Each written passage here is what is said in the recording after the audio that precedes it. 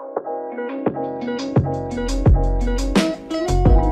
Como muchos de ustedes ya han descubierto, la primera mitad de la novena temporada de My Little Pony ya está disponible en inglés. Resulta que la versión italiana tiene un servicio on demand que también incluye copias en inglés. El 90% de las veces, alguien los publica en los comentarios a través de las redes sociales, por lo que no son del todo difíciles de encontrar. Pero en la cadena Las Noticias My Little Pony no va a comenzar a entorpecer cadenas enteras de comentarios por algo que técnicamente es un lanzamiento oficial. Algunos conceptos de estos episodios ya se han elaborado basándose en los cómics y libros de My Little Pony, por lo que si está evitando los spoilers, no sabría la diferencia de todos modos. Esto incluye personajes. Si se trata de un spoiler descarado de la trama de episodios, se ocultará, pero los personajes de los próximos episodios que interactúan no es algo que perseguiremos a menos que sea uno nuevo, nunca antes visto. Es una lástima que no tengamos celebraciones de fandom todos los sábados, ya que muchos lo están viendo temprano, pero todavía podemos divertirnos mucho con eso.